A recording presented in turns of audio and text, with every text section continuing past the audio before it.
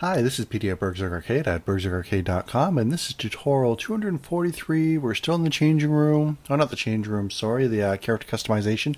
Uh, the changing room was the very first attempt at uh, creating a customizable place for, or customizable character place. Uh, so you might hear me refer to it uh, a few times, but uh, you should know what I mean. But anyway, in this one here, it's, we're in part L, and we're going to play around with the skin colors. So let's go ahead and open up Unity. And for this one here, if we actually open up the scripts, I've had a couple questions, you know, not knowing exactly what to attach the scripts to. Uh, so let's go ahead and open up the character scripts and the character customization ones. And we're going to be looking at the skin tone selector. Uh, the easy way to do it, if we just double click it, we'll open it up in MonoDevelop.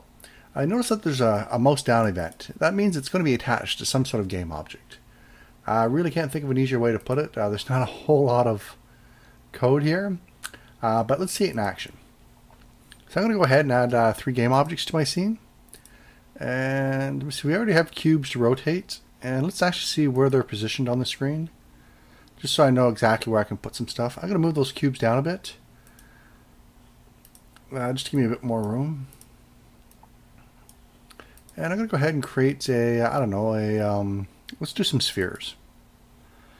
And I'll move this up. I'm going to scale the sphere probably about half that size.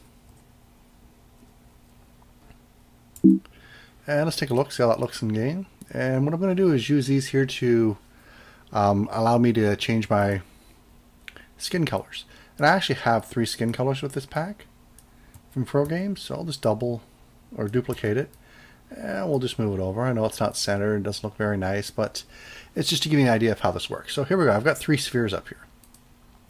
And to be honest, before I created these spheres, I'm just going to select the first one and I'm going to drop the script onto it. I'm just going to shrink these up a bit. And we'll notice here we have a color code, color code 1. And if we go ahead and go into MonoDevelop, let's take a look at the script, figure out what those color codes mean. I don't actually have them in here, but anyway, you'll notice here that we go along and we're going to tell the player customization uh, script uh, to change player color and according to the color code. And before we look at that script, let's go ahead and duplicate this now. So two, three. And I really should have um, left the code in here so I knew exactly what color meant what. Uh, but I know that there was three values and there's just three different uh, colors of skin. But anyway, I'm just going to quickly rename these. I'm just going to, I don't know, Sphere 3, Sphere 1, and Sphere 2. And of course, these are your skin color things. But uh, let's go ahead and open up Player Customization Model. And it was something about the skin. Let me just take another look here.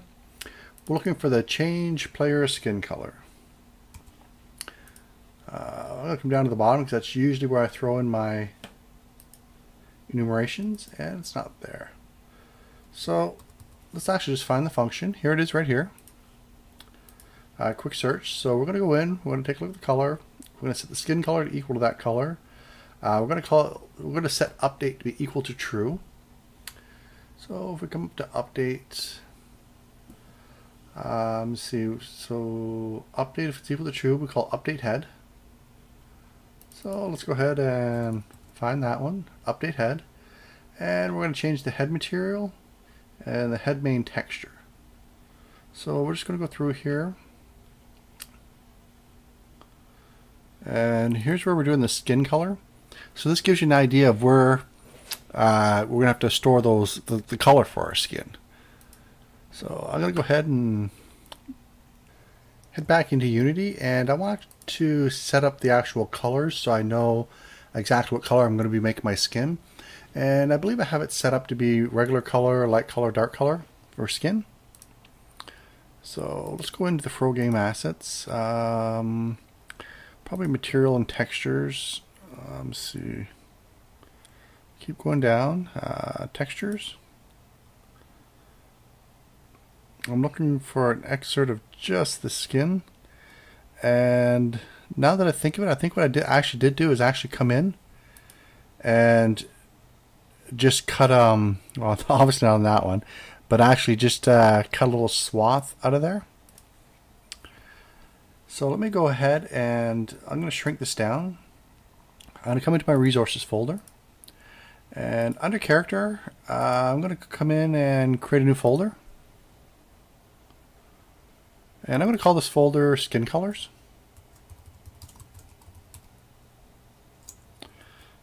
And I want to spell it right. Oolers. And if you want to spell it the O-U-R, that's fine. Uh, anyway, in here I'm going to create another folder. I'm actually going to create two. One for materials and one for the textures.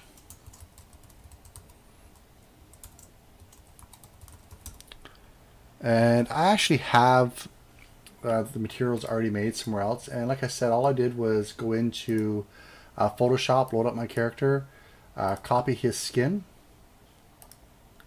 uh, copy a little swatch of skin off of him, and save it off. And I'll come in and here's what it looks like. We just have this little square thing of skin. And as you can see, it's only a 32 by 32 piece. And it really doesn't even need to be that big. But I'm going to go ahead and actually create some materials. And I actually want three, so I'm going to go ahead and make three. And then let's just go ahead and rename them. I'm going to say uh, skin light skin medium and skin dark. Call them whatever you want. And I'm going to go ahead and assign the proper materials to them. So this one here, if we just click on it to open it up, skin dark, uh, skin light, and skin medium. And then we'll just go ahead and assign these actually to our cubes. And you can actually just drag and drop these right on. And like I said, I believe I actually have it set up that uh, we default is we start off at uh, medium. Uh, without actually looking at the code, I'm not 100% sure, but that's the way I'm going to work with it. And if it errors, then I know that's not the way I started it off. So we'll go ahead, we'll click on here. And I'm going to shrink the material down. I'm going to give this a color of 2. And this one a color of 3. and I don't actually believe I actually have this saved anywhere in the script, so I really should make a comment somewhere. But like I said, I don't want to add any code during this series. Uh, but I'm pretty sure it's 123 and not 012. Uh, but let's save that off. And it's not going to work yet because I don't think we're actually, we have the uh, faces saved yet. Uh, but when we click one of these, something should happen. And of course, you can also make some mouse over events as well if you'd like. Uh, but anyway, let's go on with the light color. So something did happen. And it tried to change to material that we actually don't have a reference to yet or have no way of actually loading. So we'll click again. So as we see, they're working. Uh, not really much we can do with that. Uh, let's, let's go ahead and add some more uh, assets down here into our resource folder. So I'm going to come into the character one and I'm going to create another folder down here. And I'm going to call this folder faces. And of course, inside of faces, we'll want to create another folder. And these are for my human models. And then of course, inside of there, I want to create another folder or potentially two, one for male, one for female. And I'll just do male. Well, we'll do female as well, although I'm not going to be putting anything in there because I do not have any female models.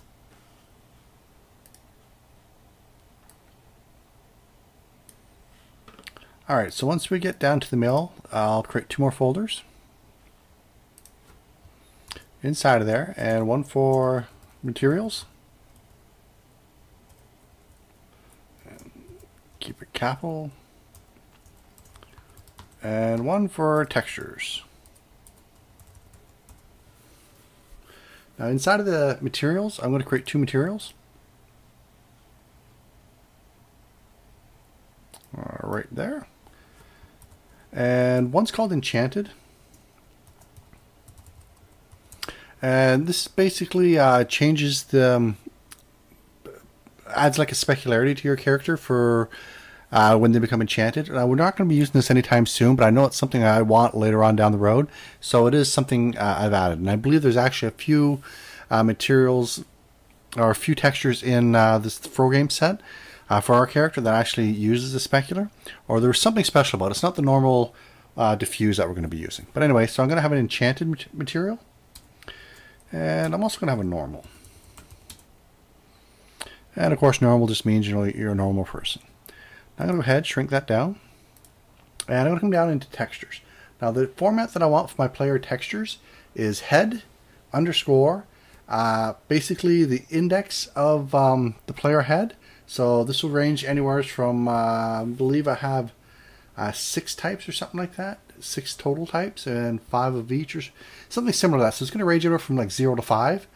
And then uh, underscore and then the index of the actual skin color. So one, two, three, uh, like that. So uh, let's go ahead and actually find some of these uh, heads. So I'm going to come in and I believe uh, we can just find them all in the material again. And we'll want to go down to the textures actually. And we can see some of them here. So I'm going to come in. Here's the first one. And I'm going to grab all three.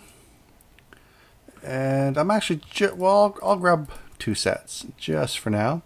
And I'm going to take those and actually just drag them all the way down, maybe. As you can see, there's quite a few textures I'm going to have to go through to move them all down. That's why I'm just doing a few of them. And I'll drag them in here. And like I said, the name has to be changed. Uh, so let me actually just get one checked. And the format I want is head underscore, uh, no zero, or sorry, uh, just one digit here. And then we want uh, the underscore of the index and dot human.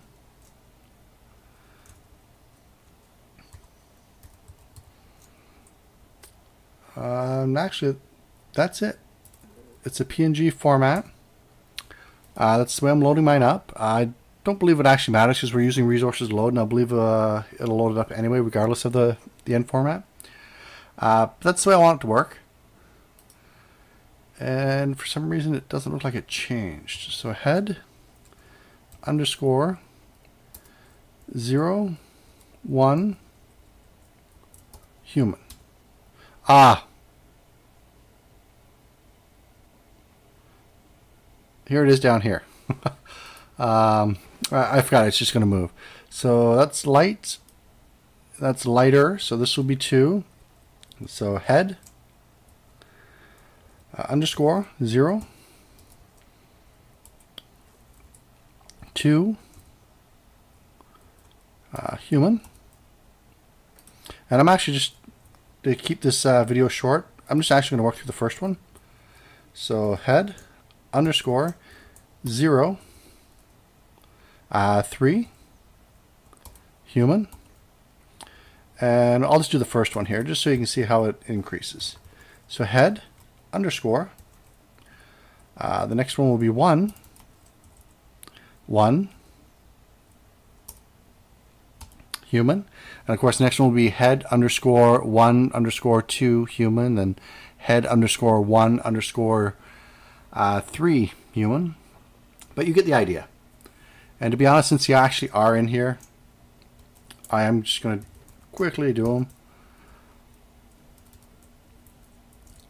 Just because they are there. So head underscore one, three, and we'll get rid of the head. So there we go. It should follow a simple pattern. And of course, the more you have, the more you add. Okay, so I've got that done. And if you want to know how to index these, go back and watch the, the video that we actually did in the, the, the full tutorial series. And let's actually go ahead and see if these are working now. So it's going to load up our game here. And if we go ahead and click the light skin, you'll see a skin color change, the dark skin, and the medium skin. So we now have skin changing. Um, let's We don't have a way to actually change the head yet. So that's not really going to matter. We'll do that in the next video. Uh, thanks for watching. Bye bye.